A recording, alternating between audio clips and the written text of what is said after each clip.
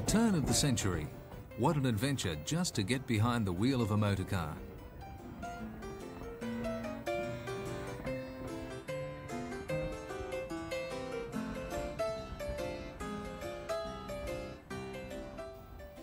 Our roads presented a tough challenge.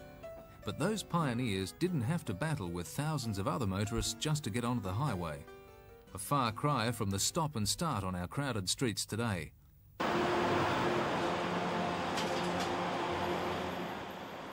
When busy roads meet or intersect, you need to establish right of way or give each stream of traffic a fair go.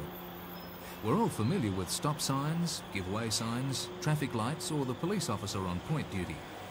But for many of us, roundabouts are something of a novelty. We'll be seeing more and more of them on our roads, so let's spend a few minutes seeing how they work and the benefits they offer to drivers and the community.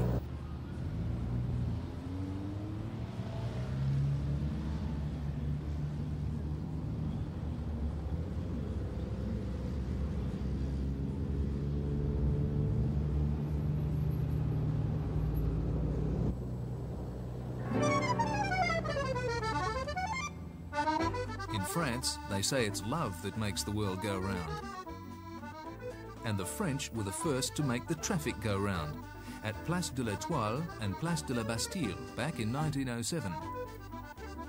Twelve roads converge at l'Étoile, a giant roundabout handling a flow of more than 20,000 vehicles an hour around the Arc de Triomphe. Roundabouts were introduced in Great Britain in 1910.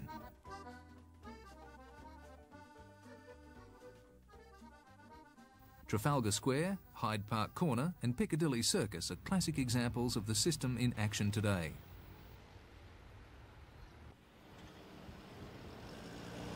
You find roundabouts at suitable road junctions all over the UK and Australia. Research confirms that they improve traffic flow and reduce accidents, especially when legislation requires vehicles to give way to traffic already on the roundabout. Vehicles approaching on different roads all have equal opportunity for entry to a roundabout. Traffic flow is improved because vehicles keep moving when the way is clear.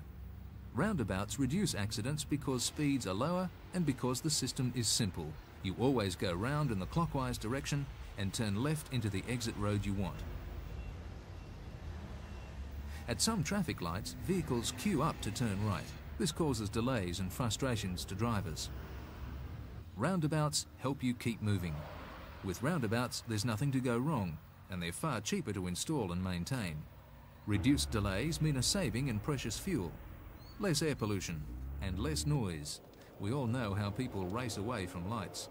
When drivers follow the correct procedure, roundabouts really do offer gains all round.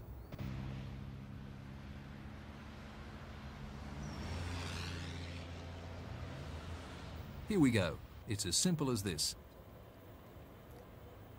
Burrabri Road's first left. Nothing coming, so round she goes. Didn't lose any time there, did she? This motorcyclist wants to go straight on. He slows, waits for the truck to go through, then round the roundabout, indicates a left turn, and straight on he goes. This driver will be going left, and good on him, he's moved into the left lane as he approaches the roundabout.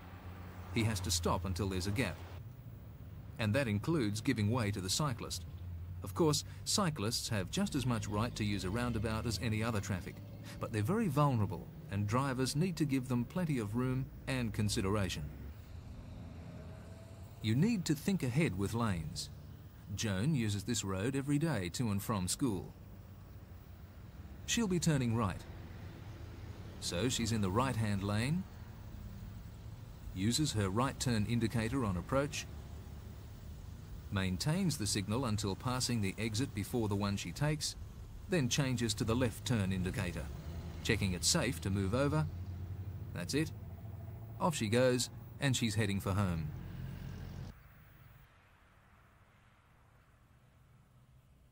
Pedestrian crossings are located near some roundabouts at a safe distance and to make the most of the fact that vehicles have to slow down. Roundabouts themselves aren't a pedestrian facility, but they do slow up the traffic in the vicinity, making it easier for pedestrians to judge and cross safely. People should never walk onto or across the island. As a rule, it's safer to cross the road a short distance from the roundabout.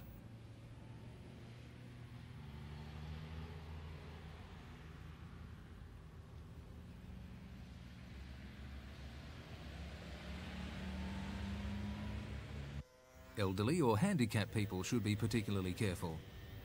And young cyclists are advised not to ride around a roundabout. It's safer for them to walk their bikes, crossing where other pedestrians cross.